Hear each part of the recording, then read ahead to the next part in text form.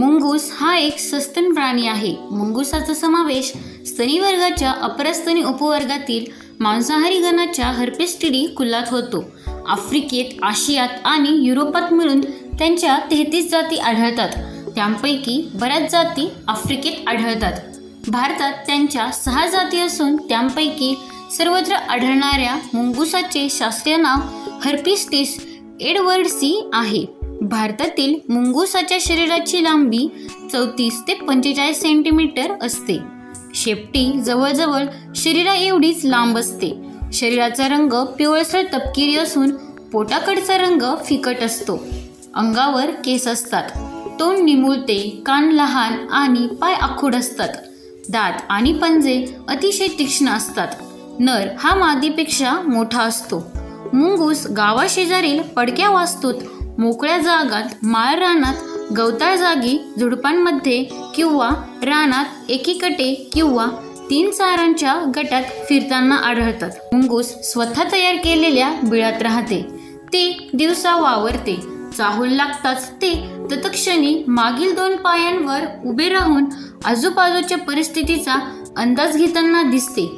काही वेळा ते वर उडी मारणे व लोळण घेणे अशा करामतीही करते.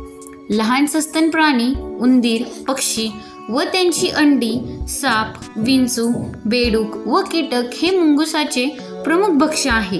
अंड्याला छिद्र पाडून ते अंड्यातील बलक शोषून घेते. ते कधीकधी कंदमुळे व फळेही खाते. मुंगूस जरी शाकाहारी अन्न घेत असले तरी मांसाहार करते. मांसाचे तुकडे करण्यासाठी आणि खाण्यासाठी त्याचे दात सोयीचे असतात. मुंगूस अतिशय चपळ सावध आणि धीट प्राणी आहे. बहुधा ते आपले भक्ष्य पाठलाग करून पकडते. वेगाने पळताना तोल सांभाळून वेग कमी न करता चटकन वळण घेणे हे मुंगुसाचे एक वैशिष्ट्य आहे. भक्ष्यावर हल्ला करताना ते बिळात जाऊन लपले तर मुंगूस तीक्ष्ण नखांनी बीळ उकरून भक्ष्याला शोधून काढते. स्वभावाने ते हिंस्र असून वेळेप्रसंगी आपल्यापेक्षा कितीतरी पटींनी मोठ्या असलेल्या प्राण्यांवर हल्ला करते. मुंगुसाच्या विणीचा ठराविक कालावधी नसतो. मादीला प्रत्येक खेपेला दोन किंवा तीन पिल्ले होतात. पिल्लांचे संगोपन मादी करते. साधारणपणे सात महिन्यात त्यांची पूर्ण वाढ होते व पिल्ले स्वतंत्रपणे जगू लागतात.